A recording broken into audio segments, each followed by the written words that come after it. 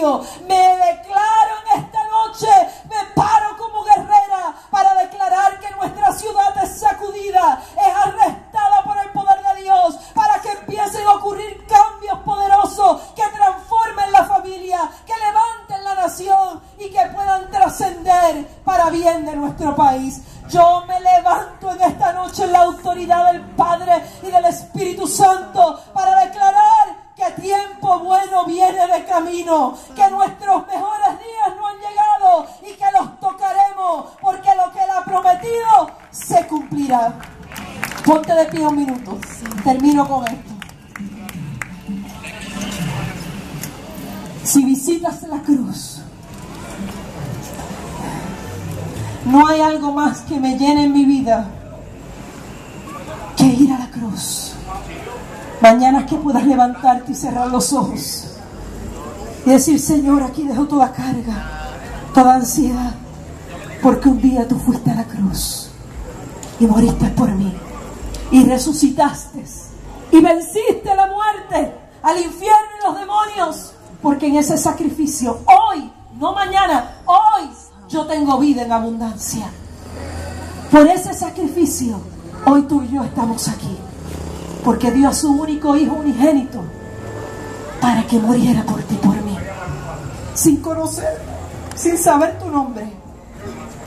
Yo vengo de la vieja escuela y si hay alguno que no tiene a Cristo en su corazón, le tengo que decir que si no tienes a Cristo en tu corazón, has perdido el tiempo. Si quieres mejores días, coloca a Cristo en tu corazón. Toma la mano del que está a tu lado, con mucho respeto. Y quiero que oremos. ¿Cuántos quieren cambios? Cambios para bien, para su casa, para la familia, para la ciudad. Queremos cambios de bendición en el nombre de Jesús.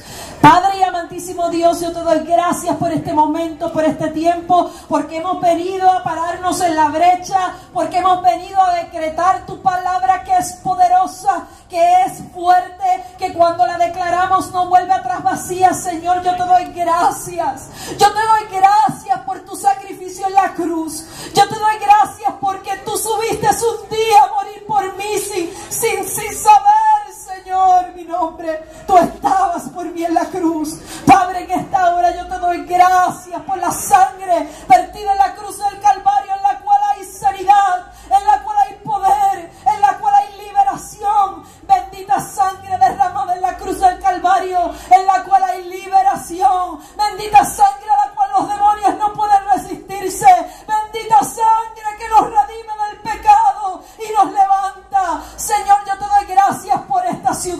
Yo te doy gracias por el tiempo nuevo. Yo te doy gracias porque hay esperanza. Pero la esperanza está cimentada en ti que fuiste a la cruz. Decretamos, Señor, que nuestra familia se levanta. Oh, Señor, nos paramos en la brecha para que tú produzcas cambios y cambios que transformen esta ciudad y este país y que podamos sentirte en cada esquina, en cada lugar. Si tú las cosas irán mejor. Si tú no estás, nada podrá ir mejor. Padre, yo declaro tiempo de bendición esta noche y que durante los cánticos tu presencia ministre paz y nuevas fuerzas en el nombre poderoso de Jesús. Yo bendigo tu nombre y te doy gracias por tu sacrificio en la cruz. Si tú puedes darle gracias por ese sacrificio en la cruz, dale un fuerte aplauso al Señor.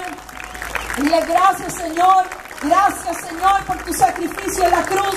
Gracias porque tú sigues siendo el mismo ayer y hoy por todos los siglos. En ti no hay sombra de variación. Tú eres el mismo que sigue haciendo milagros. Ese Dios todopoderoso. Dios les bendiga y gracias por recibirme y comencemos a darle nuestra mejor adoración al Señor. Dios les guarde.